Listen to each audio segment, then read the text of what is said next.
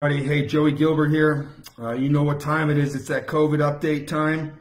Uh, I want to get everybody to uh, jump in on this. I want everybody in the comments. I want to see people uh, interact today because this is a big this is a big update. This is a big report, and um, I think the governor is going to be going on the TV here any minute and talking about how he's going to probably stop the insanity as far as it applies to our sports and our high school sports and whatnot, like they're doing in you know, dozens of states across the country.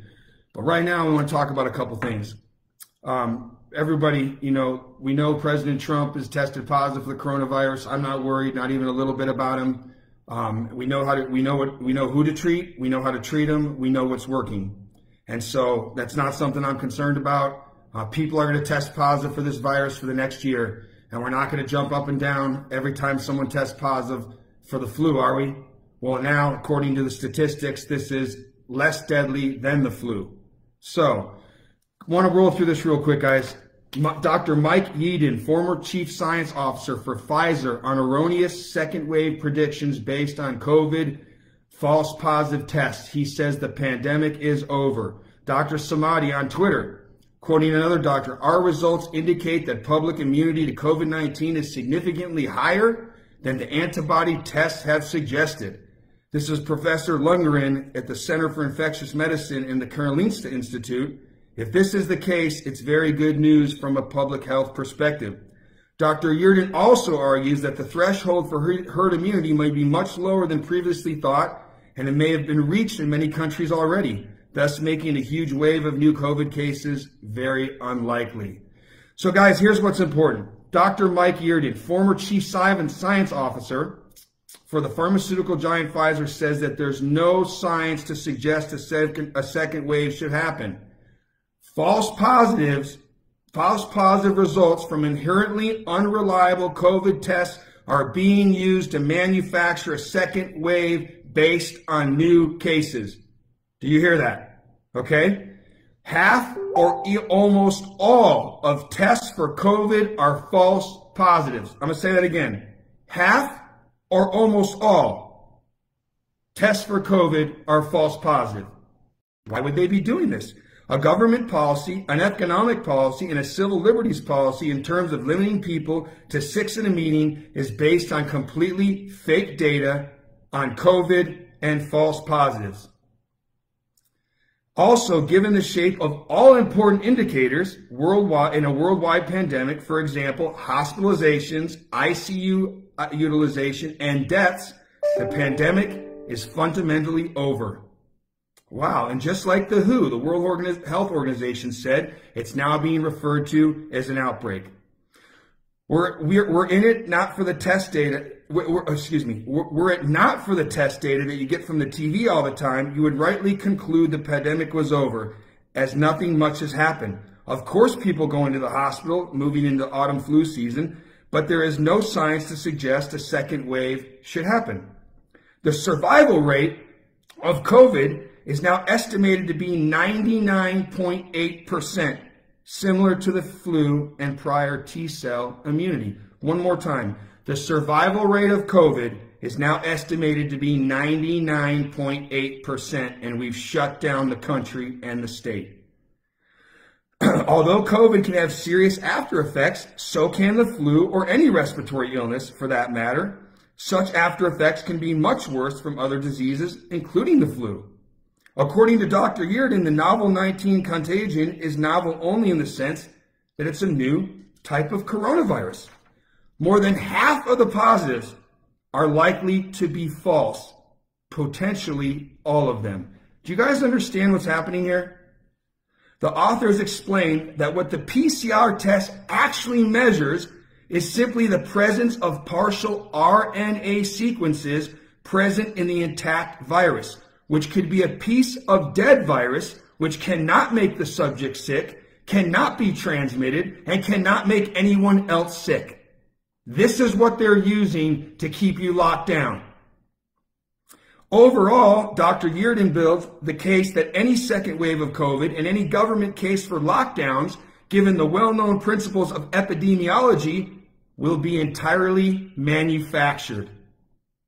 Speaking of epidemiology, the branch of medicine which deals with the incidence, distribution, and possible control of the diseases and other factors relating to health, Washoe County's, Washoe County's head epidemiologist and director of epidemiology with the Washoe County Health District for over 14 years, Dr. Randall Todd, was forced to retire by current Washoe County Health District officer, the incredibly incompetent and underqualified Kevin Dick. And didn't you see that Kevin Dick recently came out and said he was going to go against the governor's orders or the governor's suggestion that we may be in, in groups larger than 50? Why would Dick do that? Well, it's because Dick is completely unqualified and should not be in the position. And here's why. Kevin Dick, Washoe County District Health, Health Officer, is completely unqualified and is an incompetent person who doesn't know what he's talking about or what he's doing. Mr. Dick forced the Washoe County head epidemiologist and 14 year director of epidemiology, uh, Dr. Russell Todd, to retire despite Todd's impressive credentials. Dr. Todd has an advanced degree in public health, 40 years of experience in one small public health department in Michigan, four years, two large public health department in Grand Rapids, Michigan, 10 years, and then, uh, excuse me, uh, then state epidemiologist for the Nevada State Health Division for 12 years, and the Washoe County Health District for 14 years.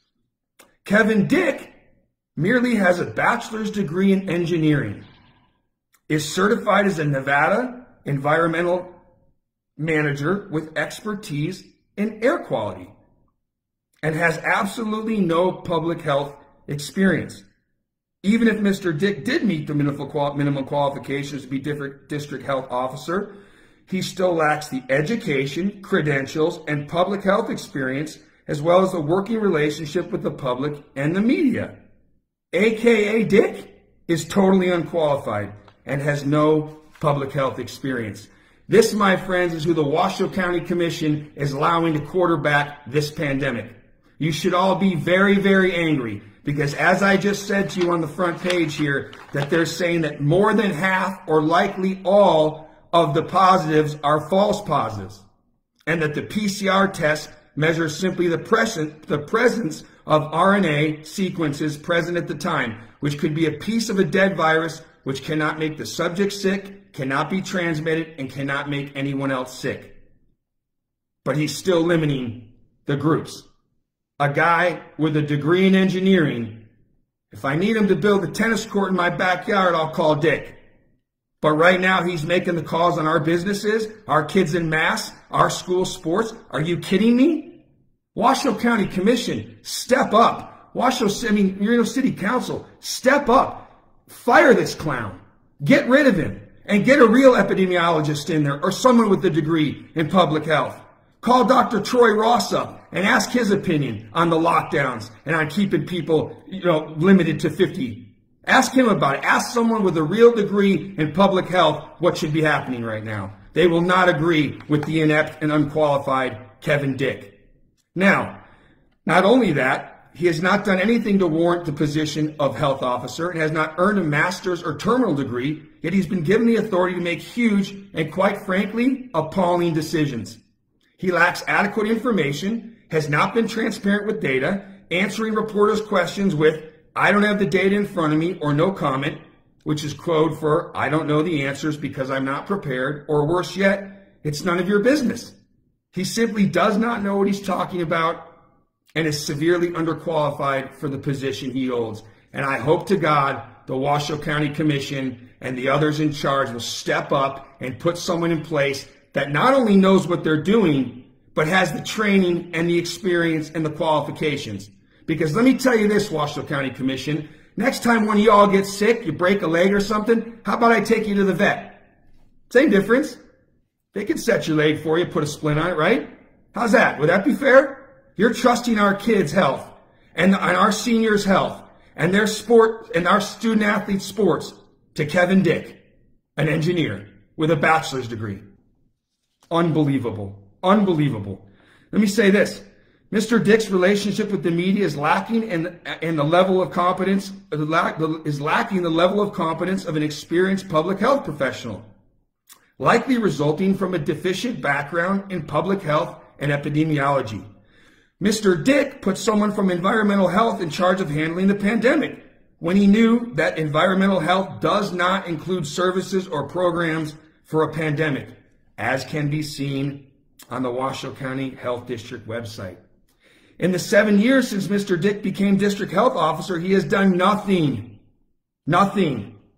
Nothing. Okay?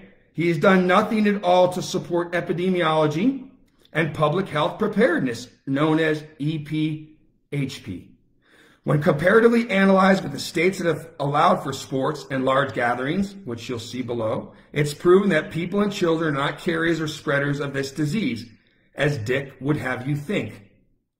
To continue, locking people down and suspending school sports or gatherings of more than 50 like Dick is doing is completely insane. And it needs to be stopped. You better rein him in, Washoe County Commission. You better do your job. You've got one of the most unqualified, unexperienced, unprepared people on the planet quarterbacking our businesses, our children, our seniors, and enough is enough. For further breakdown and evidence tending to show that there's no significant danger, see my red state versus blue states analysis below. Here comes the fun, everybody. You're damn right I took time to prepare this. Red states versus blue states. Alabama, 5 million people. Total cases, 155,744. Total deaths, 2,500. Total patients now hospitalized, 776. Total hospital beds, 15,300. Alabama, yes, high school sports. Began in the fall. Games started on August 20 and 21st. They have 5 million people. They have about 600 deaths more than us. Yeah. Arkansas, this is a great one. 3 million people. Total cases, 83,000. Total deaths, 1,300. Oh my God, about 300 less than us. Total hospitalized, 484. And we know this now, guys, because of the CDC, and that only about 6% of those hospitalized for COVID are actually in there for COVID and not other comorbidities that have got them in the hospital. So we could take that number from the 484 hospitalized to probably about 48 or lower, but they still have hospital bed capacity of 9,600. So we're, no, we're nowhere near it. And guys, high school sports started up as normal. The fall season's going as planned in Arkansas. Same population. And I say this to you guys because it's very important. The governor's directives were very simple back in March. 15 days to slow the spread. Why? Why was it 15 days to slow the spread, everybody? Get in the comments. Talk to me on why we did the 15 days. It was to prevent the overrunning of our hospital and healthcare system, which has not happened and will not happen based on the current data from scientists and those with degrees in public health, epidemiologists, which Kevin Dick is not, and he needs to go. And Washoe County Commission, I don't know how you're going to hold this up in court when they come calling because the numbers and the statistics and the science are flying in the face of Kevin Dick and smacking him around like a little preschooler. That's what's happening. That's how bad this guy is. Florida, 21 million people. Total cases, 709,000. Total deaths, 14,000. But we know with the adjustment from the CDC of about 6%, we're going to put that number probably in the, in the, I don't know, thousand range, maybe, maybe thousand. But here's the best part. Total hospitalized for COVID, again, adjustment down per CDC, put this, the total hospitalized in Florida, 2,000. Bed capacity in Florida, 55,000. Nowhere near. And Florida's open 100%, and these numbers are of yesterday. Thank you very much. Idaho, right above. 1,787,000 people, total cases 42,000, total deaths 469. Uh, total in the hospital for COVID right now 137, total hospital beds 3,400. Fall sports, fall sports started as scheduled. What's going on, guys? So are you trying to tell me, Kevin Dick, there's a different coronavirus in Florida and in Arkansas and in Kansas and in Utah and in Missouri than there is in Nevada? And that's why you're locking everybody down? Or is it because You don't know what you're doing because you don't have the training, experience, and qualifications to be making these calls. I think it's the latter. You need to move around. You need to move along. Kansas, right up Nevada, 3 million people. Total cases, 59,000. Total deaths, 678. Patients now hospitalized, 352. State hospital bed capacity, 9,600. Uh, uh, fall sports approved games started on September 10th, and their practices started back on August 28th. Same amount of people, 3 million. Oh, it's, it's, it's the environment, right? It's the climate. Is that what it is, Kevin Dick? I mean, with the expertise in air quality? And you were wrong the other day, too, on air quality when you said that the coronavirus, because of the smoke, and then the CDC came out and said that the masks don't even filter the smoke, which is about 10 times or 50 times bigger than the coronavirus. So you walked yourself into that one, genius. Now, Missouri. Total, case, oh, so Missouri, total population, 6,137,000. Total cases, 129,000. Total deaths, 2,200. Again, guys, total deaths from COVID, 2,200. Let's do the adjustment per the CDC. Nah, not that many, huh? But here's the best part. Total hospitalized for COVID, 1,137, but total hospital bed capacity, almost 19,000. No way it can get overrun. Wow. And Missouri, high school activities, full blown, full sports. Montana, only a million people, total cases 13,000, total deaths 180, total hospitalized 170, but all high school sports back. Nebraska, 2 million people, 45,000 infected, total deaths 478. Total patients hospitalized with COVID right now 215. Adjustment per the CDC, we'll put it in the 25 mark. State hospital bed capacity 6,900. 200 in the hospital, 6,900 capacity. Oh, and yes, Nebraska high school sports announced on July 20th that it was prepared to begin the fall sports season as scheduled and practices began on August 10th. Kansas, same population, 30 million, uh, 3 million. Uh, um, excuse me, the Nebraska, same, almost same population, 2 million, but we don't have the spike. And the gold standard that the governor talked about. Let's go to one more. Oklahoma, 4 million people. Total cases, 87,000. And that's just like Nevada. 3 million people, total cases, 79,000. But back to Oklahoma. Total deaths, 1,031. So Oklahoma, who has almost a million more people than Nevada, has about 600 less deaths and currently hospitalized. They have 628 people with hospital bed capacity of 12,000. And their high school sports started as planned. Wow. So what is this gold standard Governor Sisolak is talking about? Is it a gold standard that doesn't appear anywhere else in the United States? Governor, you said that you were protecting the residents, the workers, and the visitors. From, from what? Is the coronavirus different back east than it is here? I didn't, I didn't think so. South Carolina, 5,148,000 people. Total cases, 148,000. Total deaths, 3,400. And again, guys, let's do our adjustment per the CDC of the 6% that only died from coronavirus and not other comorbidities. And that's, they're going to put that number much lower, whatever 6% of 3,400 is.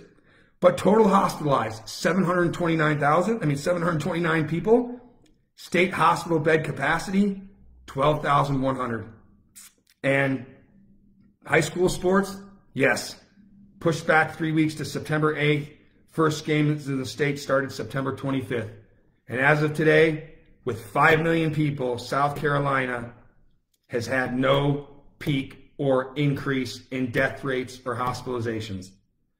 Texas, 28 million, almost 29 million people. Total cases, 787,000. Total deaths, 16,000. Let's do our adjustment per the CDC. Total hospitalized, 3,344. Total hospital beds in Texas, 66,000. We're nowhere near overrunning the healthcare system. Let's go, guys. Let's talk about this in the comments. Let's get loud. Let's get our kids back in high school sports. And Texas, yes, all fall activities got started. But here's the last most important one Utah. COVID statistics 3,200,000 people, just like Nevada. Total cases 79 or 73,000. Nevada 79,000. Total deaths in Utah 459 people total. Total deaths in Nevada 1,600 and climbing. Total hospitalized in Utah 243. Total hospitalized in Nevada 452. And Utah got the go ahead on July 9th to continue fall season as scheduled. July 9th, they started high school sports. They're right above us with the same population, three times less than death. What are you doing, Governor? What are you doing, Kevin Dick? You have no clue. You have no plan. Your gold standard is nonsense. Now, red state totals. You're going to love this. Total red state population of the 12 states I listed are 84,551 with a total case infection rate of 2,334,000, total deaths of 43,000 with a death case ratio of 1.8%. Boy, are you guys ready to hear about the blue states? Well, let's just jump into California. Total cases, 819,000. Total cases of infections with a population of 4 million. Guess how many people died? 15,900. Almost similar to Florida, where the population's 20 million there, 40 million there. It seems like this herd immunity thing, only a certain amount are going to be infected and die. And anybody with a degree in public health or epidemiology would know that. So maybe that's the reason they ran the doctor out of the Washoe County Health district officer position. Think that because he wouldn't be agreeing with Kevin Dick? Probably, probably not.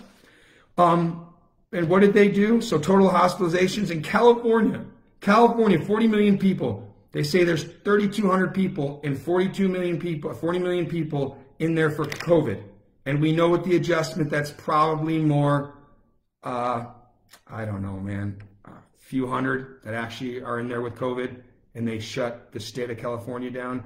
They've had the highest, toughest restrictions, the biggest business closures, and they've moved the fall sports to January. And they have the same infection rate and the same death rate, almost slightly higher than Florida, who's open 100%. Colorado, almost 6 million people. Total cases 70,000, less than Nevada. Total deaths 2,000, will be there soon. Total patients hospitalized for COVID 268. Hospital bed capacity 10,500. And yes, Colorado did vote to go back on September 16th to allow football, but then they're going to kick everybody else into March and May 1st. Nevada, Total cases 79,000. Total population 3 million. Total deaths 1,600 and climbing. Total hospitalized 452. Hospital bed capacity 6,500. And uh, the NIAA, the good old NIAA on July 23rd pushed winter sports back to January and the spring calendar to an April beginning. NIAA does not anticipate state championships will be held. You guys are doing a fantastic job, NIAA clown show. New Jersey, 8,800,000. Total cases, 209,000. Total deaths, 16,000. Almost the same as Florida. Half the population. Hardest, most toughest restrictions. Total hospitalized, though, 479. Why do we keep seeing this? 400 to 600. 400 to 600. Hospitalized. State hospital bed capacity, 20,000.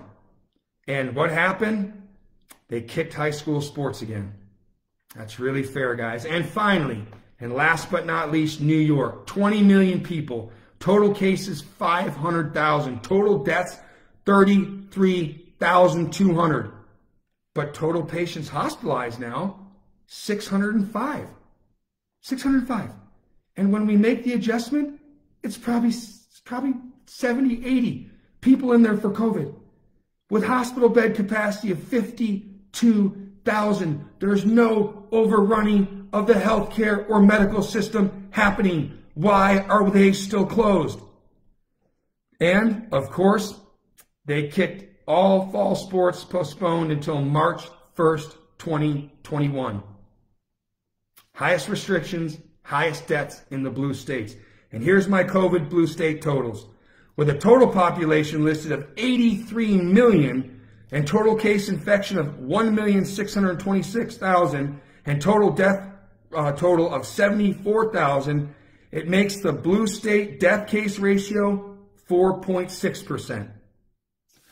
So everybody, here's where we're at. We need everybody to stop the nonsense. I know our president tested positive coronavirus. People are going to test positive. It's a virus. You can't stop it.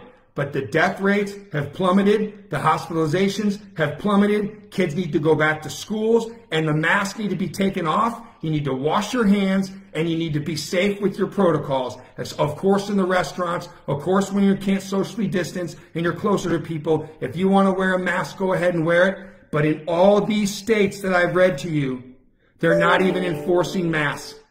They're only enforcing masks in public buildings or on public transportation. And in some counties where they feel that they, you know, probably blue counties, where they think you need it. But at the end of the day, everyone, these masks are just a show of force and they're garbage and they're nonsense and they're providing a very false sense of security. So again, I say to the Washoe County Commission, it's time for Kevin Dick to go. It's time to put a real epidemiologist in there, a doctor, someone with a degree and experience in public health. I recommend calling Dr. Troy Ross and asking him, or how about this? Why don't we just have a public hearing and I get to bring my infectious disease doctors and some of my epidemiologists and you can bring Kevin Dick and we'll have a little discussion and let's see how it goes when we're done. But the nonsense has to stop the distance learning has failed. It's failing our kids. And we need our student athletes back on their courts, fields, and mats, and we need it now. NC or whatever you are, NIAA, get a clue. Wake up. Look back east. If they can all have sports, why is Nevada different? Be leaders. We don't lead by sitting down and saying, oh God, we're going to wait. Wait for what? The coronavirus is the coronavirus. It's the same thing here as it is in Oklahoma, as it is in Arkansas, as it is in Florida, Idaho, Alabama, Kansas, Missouri, Montana, South Carolina, and Texas and Utah, where they all have high school sports. And they don't have half the death rate we do. Death rate, red states, 1.8. Death rate, blue states, 4.8. Toughest restrictions, blue states. Least restrictions, red states. Simple science, guys. Simple science. I'm going to ask everybody again, get in the comments, get loud. If you think this is some nonsense, if you think the state needs to be open, if you think that Kevin Dick should resign or be fired, then you need to talk to your Washoe County commissioners. You need to let them know now how you feel. You got to let the city council know how you feel. And you got to let everybody know that enough is enough. Open our school, open our states, Open everything. Everything needs to be open. All businesses, all sports.